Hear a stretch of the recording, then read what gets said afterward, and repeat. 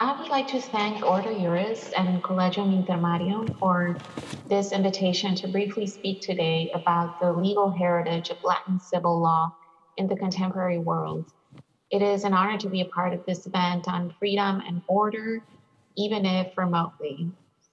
I will speak about the one contribution of Latin American civil law systems that I consider to be the most meaningful or significant to the current framework of international human rights law.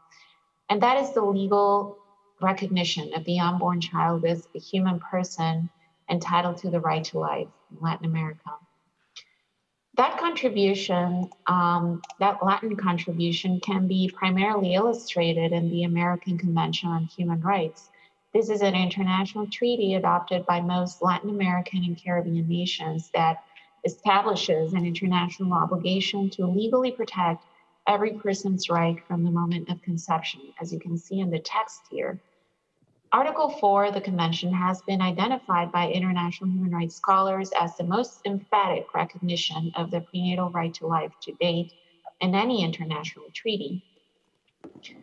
The recognition of a right to life from conception in this treaty seems to be distinctly inspired by the region's predominantly Catholic values, a Catholic vision of human rights, a Catholic moral understanding of the natural law in general, and in particular, um, a, a respect for prenatal life. Latin American states have also contributed to the understanding of the Convention on the Rights of the Child as protecting the right to life of unborn children. Since uh, the pre- preparatory work of the 1959 Declaration on the Rights of the Child, which led to the adoption and parts of its text made it to the Convention on the Rights of the Child, um, Latin American states affirmed their view that the child's right to life was protected from the moment of conception. In a proposal introduced by Argentina and supported by all the Latin American states enumerated here, Latin American and Caribbean states, um, so again, that declaration then led to the Convention on the Rights of the Child, which, as you probably well know, was first drafted by Poland, which I imagine is a fact that your country must be very proud of. The Polish representative to the CRC Preparatory Work Conference, um, his name, and I hope I'm not mispronouncing it, although I imagine I am, Adam Lopatka, indicated that the convention was intended to allow states to legally protect the unborn child. This was done by the introduction in the preamble of the terms before as well as after birth, quote unquote, when referring to legal protection, human rights protection being recognized for the for children. So it would apply before as well as after birth, therefore implicitly protecting the unborn child. So uh, just as much as it was a Polish contribution to the Convention on the Rights of the Child, um, this has, had been supported by Latin American countries even um, even before the convention was adopted in, in, the, in the draft Declaration on the Rights of the Child, which later, um, the text of which later became the convention. At the domestic level, at the national level, Latin American nations have a long held uh, legal, juridical tradition of recognizing and protecting the unborn child's right to life from conception. One that is very much alive today. That tradition is very much alive in 2021. Since the 1970s, Latin American countries have been pioneers in explicitly recognizing prenatal rights in their national constitutions. Eight states so far have adopted explicit constitutional provisions recognizing and protecting a right to life from conception, something that has not yet happened in any other region in the world. It happened with Ireland in Western Europe, which used to recognize um, the unborn child's right to life. However, that provision was um, over, overturned, as, as you know, by referendum in Ireland. These states, however, continue, have passed um, since the 70s these um, constitutional amendments recognizing the unborn child's rights, and those amendments still prevail, prevail today. Honduras actually updated its uh, constitutional recognition of the unborn child's uh, right to life to specifically ban elective um, voluntary abortion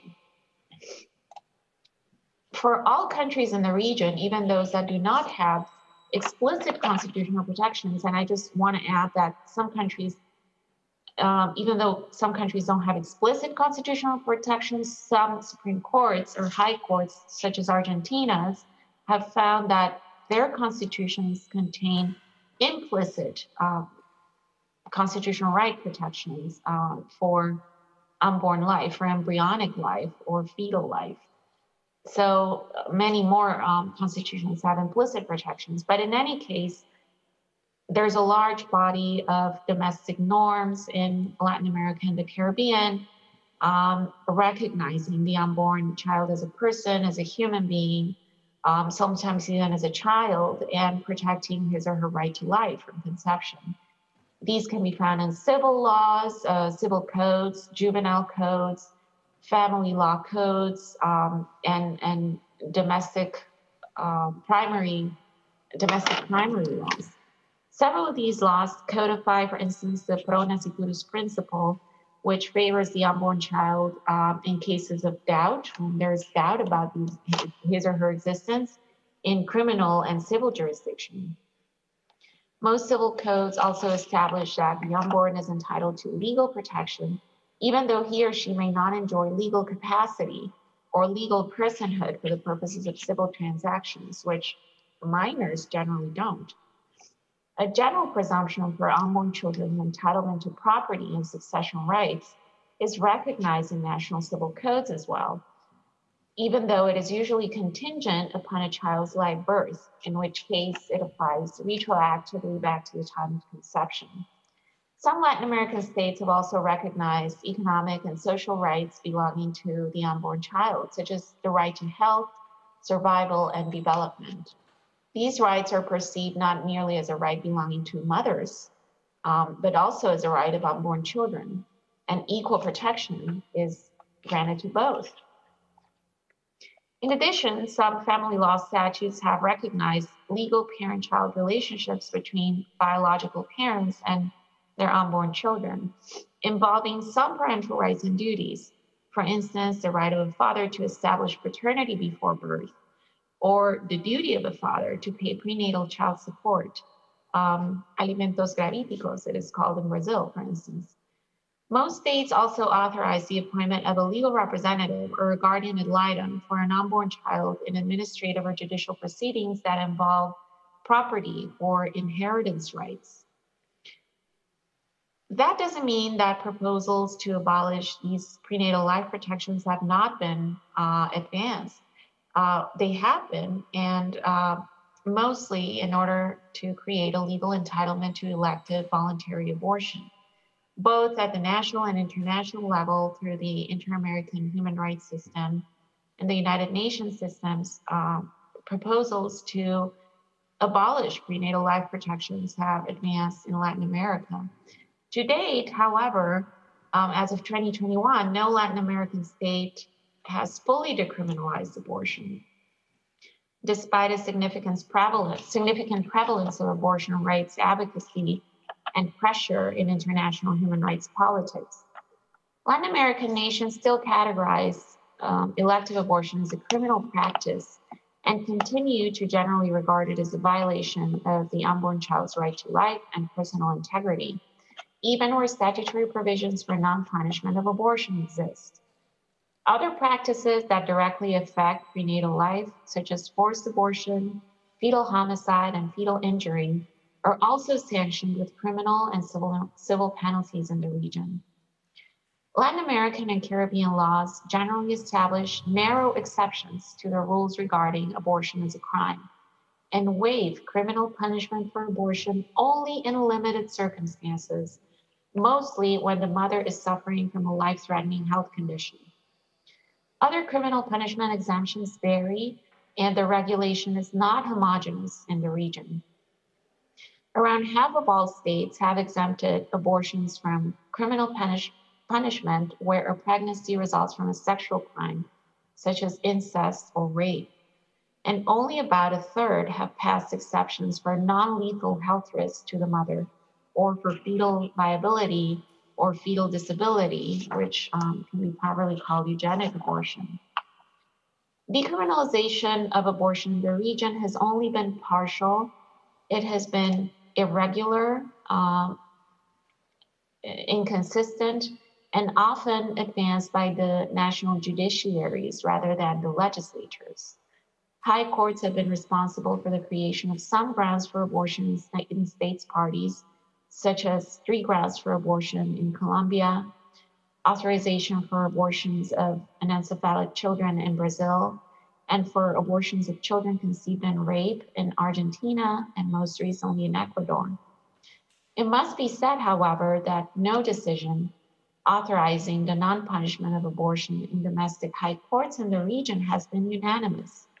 One or more judges have dissented in every instance, and courts have been deeply divided over the issue, as illustrated by the Chilean constitutional decision, which upheld an abortion statute in, 20, in 2017.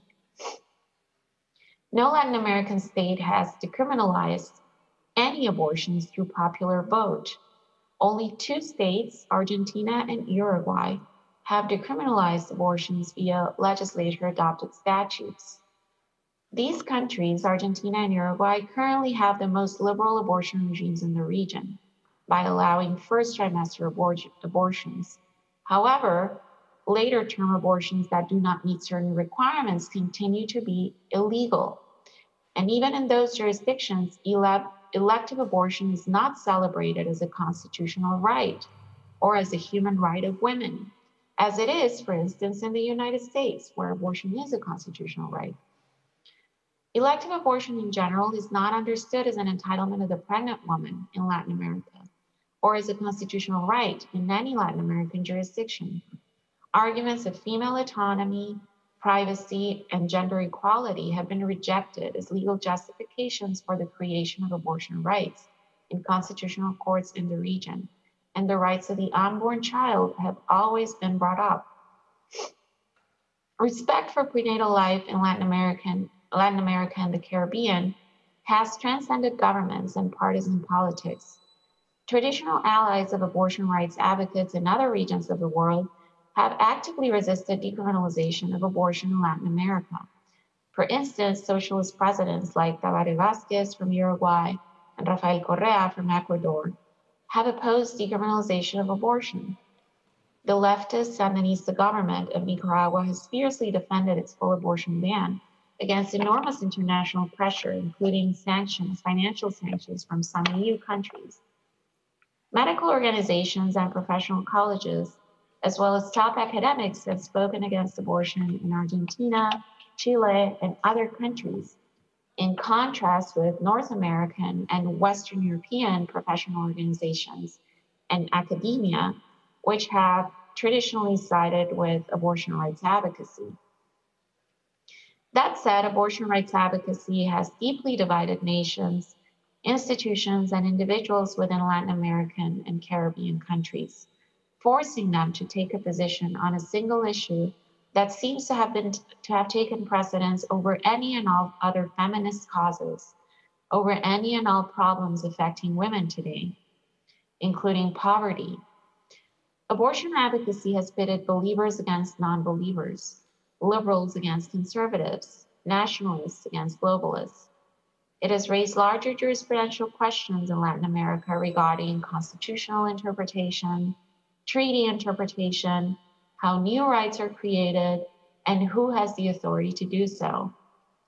Latin American law protection of the right to life of unborn children is no doubt under attack, both internally and externally. But for now, it remains as its great as one of the greatest contributions to international human rights law. Hopefully, more Christian nations will, in the future, reject a false understanding of female empowerment and promote true nonviolent alternatives and compassionate support for girls, women, children, and families facing unplanned pregnancies. Thank you for your attention today, and I will be glad to um, get any comments or questions by email. Thank you very much.